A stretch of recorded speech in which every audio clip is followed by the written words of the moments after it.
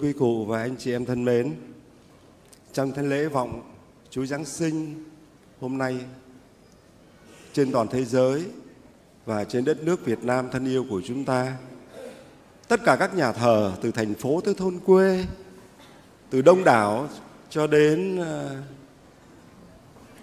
rải rác một vài nhóm người nơi heo hút tất cả đều mừng lễ Chúa Giáng sinh và trước lễ Chúa Giáng sinh đều có cái diễn nguyện.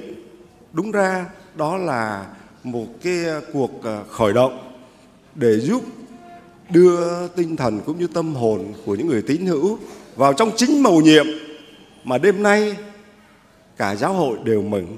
Đêm nay những con người thiện tâm mừng. Đêm nay những con người mong mỏi ơn cứu chuộc cho mình mừng. Và trong buổi diễn nguyện đó, ngoài những bài thánh ca truyền thống, công giáo Việt Nam chúng ta còn diễn lại cho mọi người thấy được thế nào là cái lịch sử thánh, cái lịch sử cứu rỗi của Thiên Chúa khởi từ tạo dựng lúc Adam, Eva sống ở trong vườn địa đàng.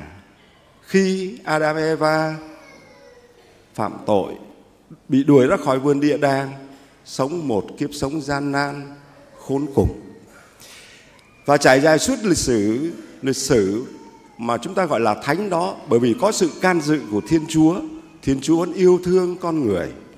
Thiên Chúa đã sai các ngôn sứ đến để loan báo cho con người biết cách sống công chính, đẹp lòng Chúa, biết cách giữ luật để chứng tỏ mình là con dân của Thiên Chúa, giúp cho những con người đó biết cách thờ phượng một Thiên Chúa duy nhất, chân thật trí thánh và hàng sống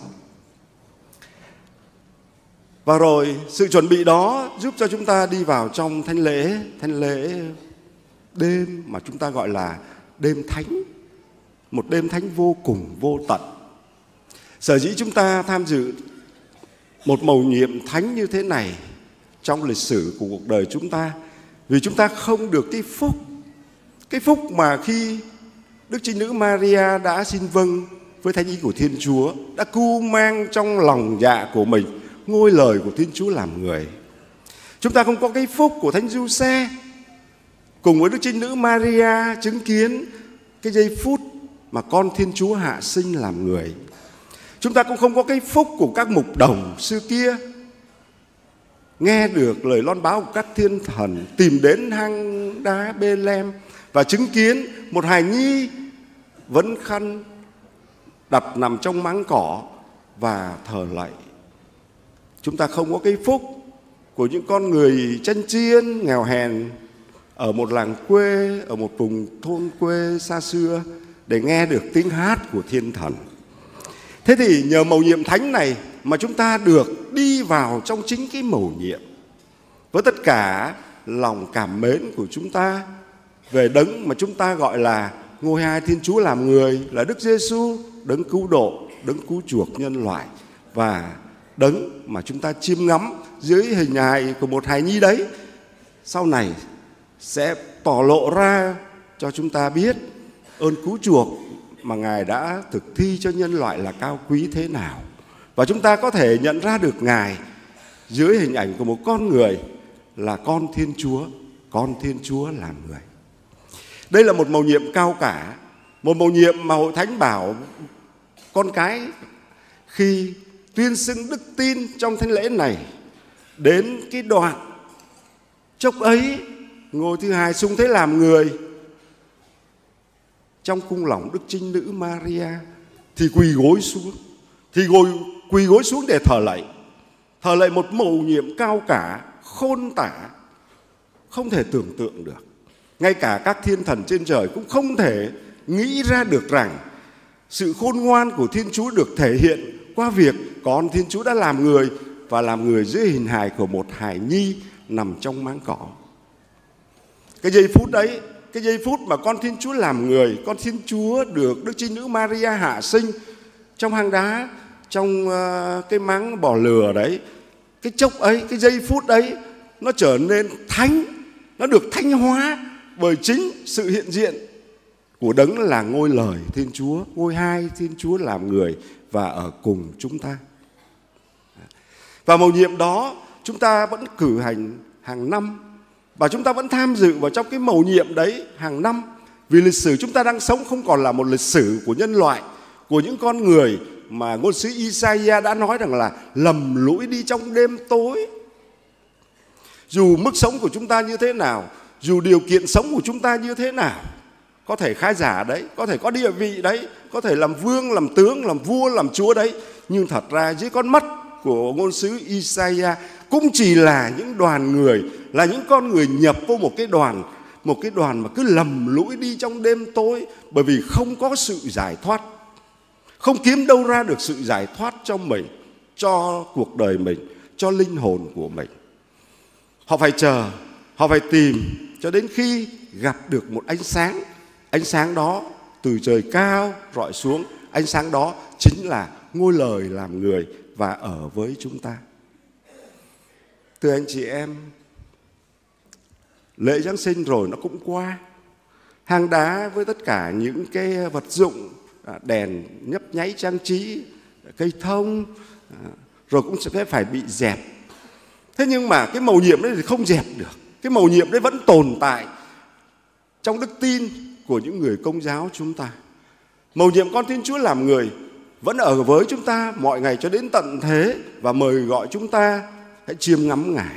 Như xưa kia, đức mẹ maria đã chiêm ngắm trong giây phút này cách đây hơn hai ngàn năm.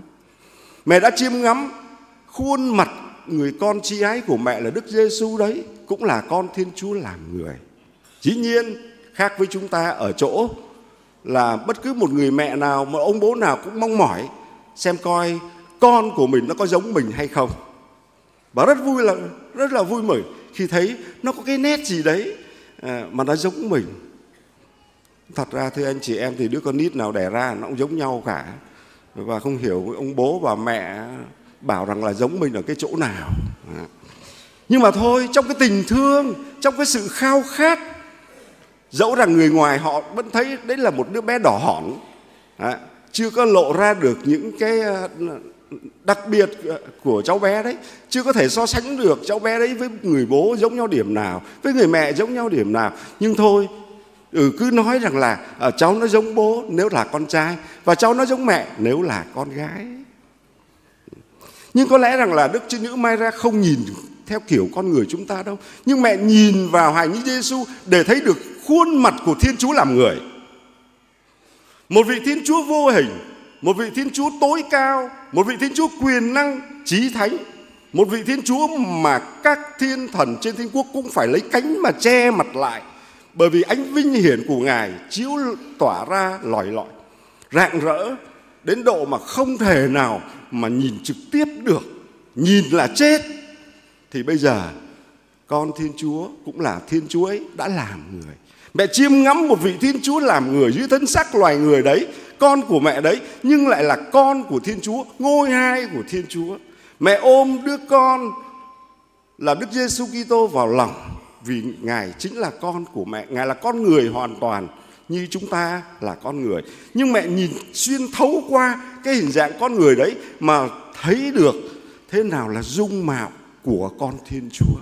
Dung mạo của người con thể hiện lòng xót thương của Thiên Chúa. Khuôn mặt dung mạo của một con người sẽ cho mọi người biết được Thiên Chúa không phải là một đấng à, một đấng vô hình đến mức độ mà người ta không chạm được. Và nếu người ta không chạm được thì Thiên Chúa sẽ có cách để người ta chạm được, để người ta thấy được, để người ta có thể nghe được, để người ta có thể có những cảm giác cảm giác thật cụ thể, thật rõ ràng với tất cả những cái yếu tố giác quan mà thiên chúa ban cho. Để cảm nghiệm rằng vị thiên chúa đấy gần gũi với chúng ta lắm. Vị thiên chúa ấy thân thiết với chúng ta lắm. Vị thiên chúa ấy, chúng ta có thể ôm ngài vào lòng.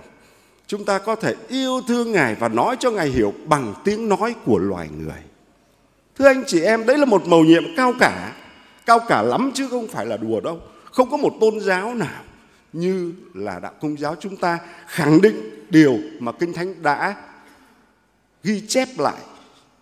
Mà chính đức trinh nữ Maria cách đây hơn hai ngàn năm mẹ đã sống mẹ đã sống chính cái mầu nhiệm này. Bây giờ tới phiên chúng ta chúng ta cũng sống cái mầu nhiệm ấy. Nhìn vào Đức Giêsu Kitô con Thiên Chúa làm người, khuôn mặt của Thiên Chúa hiện hiện hiển hiện trên cái khuôn mặt của một con người làm sao mà không có không gây nên sự ngỡ ngàng. Các thiên thần ngỡ ngàng, Thánh Giuse ngỡ ngàng, Đức Maria ngỡ ngàng. Tất cả mọi loài thọ tạo do Thiên Chúa tạo dựng đều phải ngỡ ngàng trước hình dạng của con Thiên Chúa nhập thể. Và còn ngỡ ngàng hơn nữa như Đức Trinh Nữ Maria hôm nay mẹ ôm con vào lòng, mẹ nhìn người con đó. Mẹ in hình ảnh đấng là ngôi hai Thiên Chúa làm người, là khuôn mặt của Thiên Chúa giàu lòng xót thương vào trong ký ức của mẹ, vào trong tim và lòng của mẹ. Và mẹ vẫn giữ những cái nét đấy lớn lên từng ngày những cái nét nhân loại của Đức Giêsu đấy lớn lên từ ngày cho đến 33 năm. Mẹ vẫn nhìn vào Chúa Giêsu, con của mẹ đấy, nhưng mẹ luôn luôn biết rằng bên trong con người con của mẹ, bên trong người con chi ấy của mẹ, đó là ngôi lời của Thiên Chúa. Đấng mà mẹ yêu thương, mẹ cũng phải phủ phục tôn thờ. Thưa anh chị em, suốt 33 năm, Đức Trinh Nữ Maria đã sống với Đức Giêsu và Đức Giêsu trong thân phận con người, Ngài đã tỏ ra cho Đức Mẹ thấy được một vị Thiên Chúa yêu thương con người, đồng thân đồng phận với con người.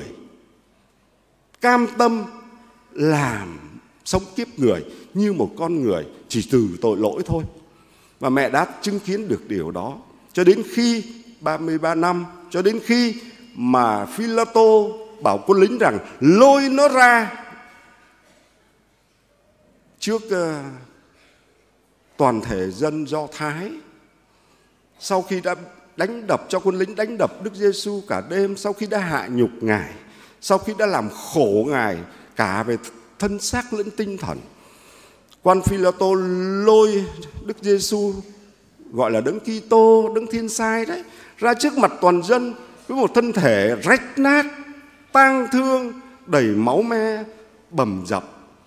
Và ông nói một cái câu rất là ngạo mạn và khinh khinh bỉ như thế này. Đây là người.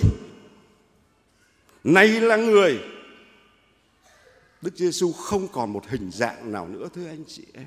Thế mà ông ấy bảo rằng đấy, người đấy, vua dân Do Thái đấy, kẻ mà các ngươi tin rằng là Kitô đấy đứng cứu chuộc đấy con Thiên Chúa đấy không còn hình dạng một con người nào nhưng mẹ vẫn tin mẹ vẫn tin rằng đằng sau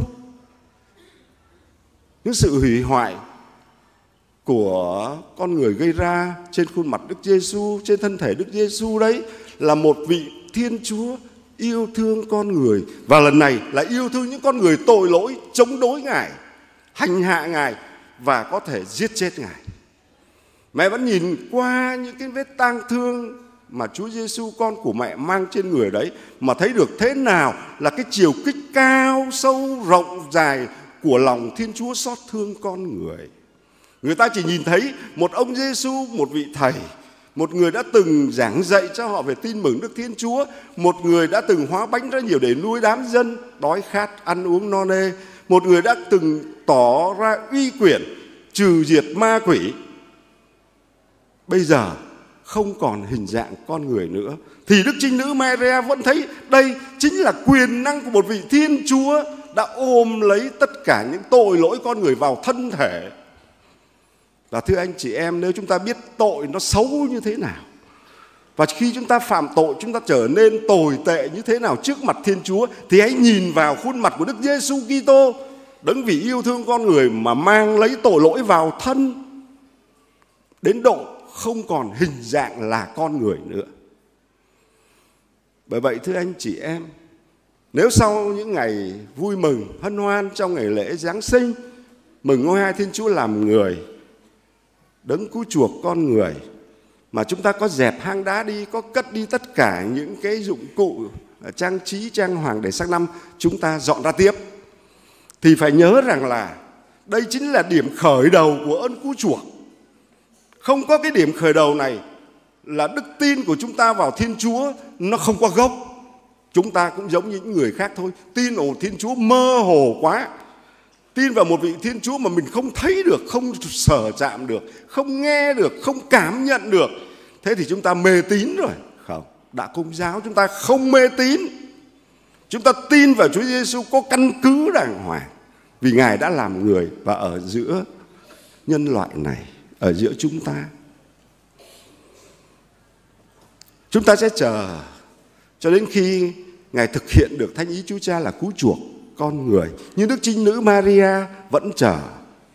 Và vì vậy cho nên chúng ta tuy rằng vẫn sống trong cái cảnh mà ngôn sứ Isaiah nói rằng là vẫn đi trong tăm tối nhưng chúng ta không lầm lũi vì chúng ta có một ánh sáng chỉ đường, ánh sáng đó là Đức Giêsu Kitô, Chúa của chúng ta. Ánh sáng đó sẽ dẫn chúng ta đến nơi mà chúng ta hằng khao khát đó là nơi mà Thiên Chúa ban cho chúng ta được ơn tha thứ mọi tội lỗi. Đó là cái nơi mà Thiên Chúa giao hòa chúng ta lại với Thiên Chúa, cái nơi mà Thiên Chúa phục hồi cái phẩm giá làm người cho chúng ta, cái nơi mà Thiên Chúa gọi chúng ta là con của Ngài. Cái nơi đó chính là thập giá Chúa Kitô. Cái nơi đó chính là sự phục sinh của Chúa Giêsu Kitô. Noel luôn luôn hướng đến cái mầu nhiệm cứu chuộc Noel không dừng lại ở cái điểm, ở cái điểm khởi đầu cũng như kết thúc, không. Hướng đến cả một cái hành trình.